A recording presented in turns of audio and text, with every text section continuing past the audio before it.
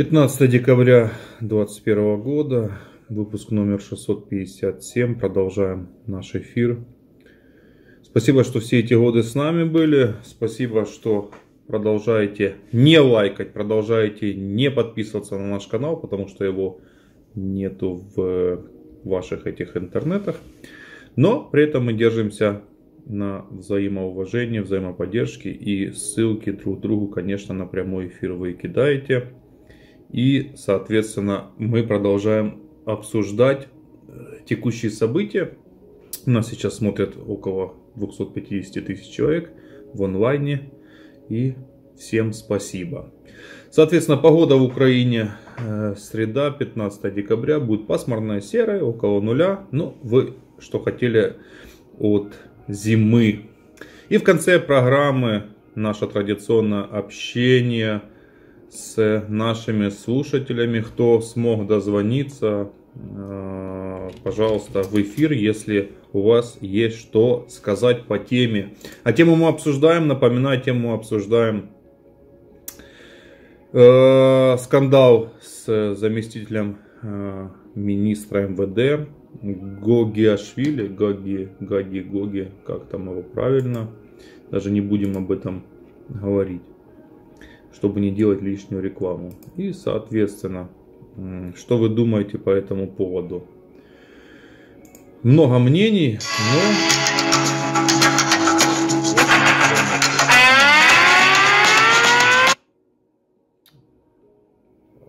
Да, мы вас слушаем. Алло, добрый день. Добрый день, представьтесь, пожалуйста, как вы, как вас зовут, откуда вы? Хорошо ли слышно? Да, меня зовут Владимир, я из Мелитополя, э, слушаю постоянно вашу передачу, очень интересно, спасибо, очень много интересного для себя открываю.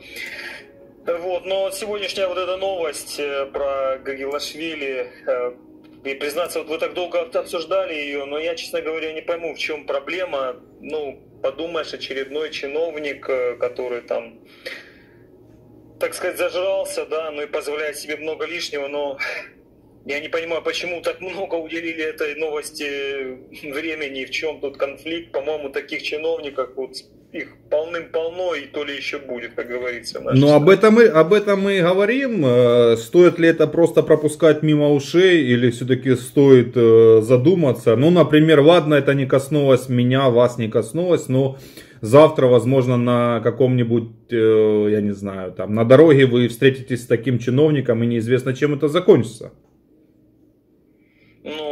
Насколько я понимаю, речь шла не о простых людях, а, скажем так, о его подчиненных, да, на которых он разошелся. Вот. Другой вопрос, если такие, конечно, чиновники начнут уже на нас, простых смертных, останавливаться и наезжать, ну, тогда да, тогда и поговорим, а так, ну...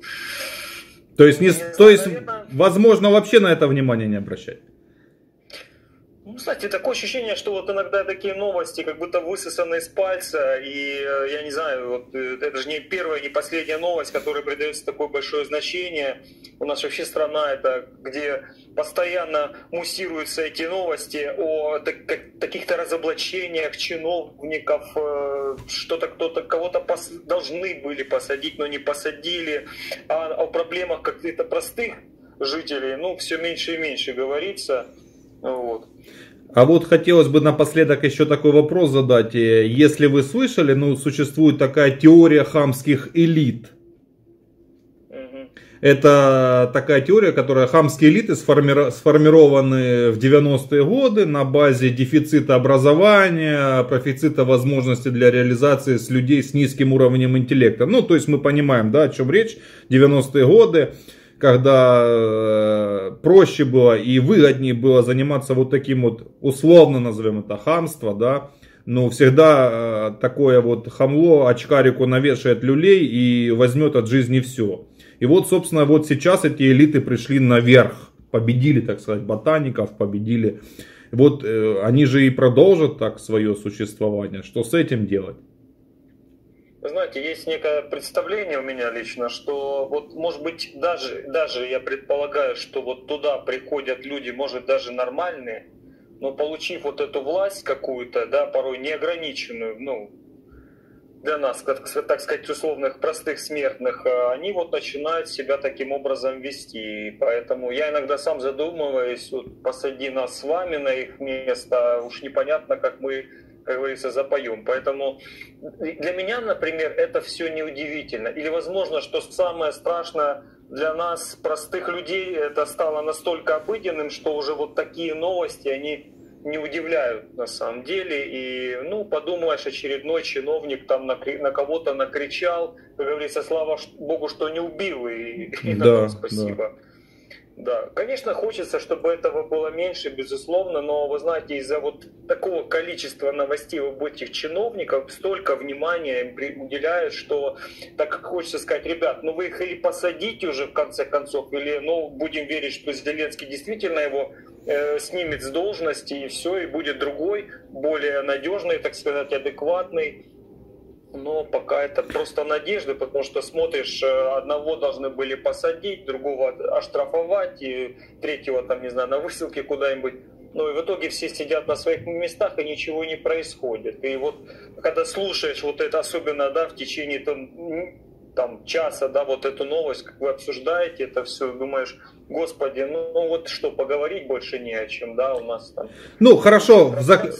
да, в, заклю... в заключение, э, вот Мелитополь, простой такой украинский городок, у вас вообще об этом, об этом речь идет как-то, хоть как-то, хоть где-то в очереди, в магазине сказать, вот козел какой-то там очередной. Ну, вы знаете, ну это же как обычно, да, ну там условно бабушки там какие-нибудь поговорить об этом, там по, посплетничать, ну я же говорю, такое складывается иногда впечатление впечатление, что у нас в стране столько много вот этих всех разоблачений, вот этих всех э, посвященных чиновникам, что по, по сути дела это даже обсуждать уже в общем-то неинтересно, ну лично мне вот. И, и, поэтому, простите, конечно, я... У нас все просто, у нас Мелитополь, вы знаете, небольшой город, поэтому у нас очень простые. Ну вот мы пытаемся, мы пытаемся в течение программы сравнить настроение в разных городах Украины. Спасибо вам большое за звоночек. Не переключайтесь, Извините, смотрите. Да. Спасибо. да. Удачи вам. Спасибо.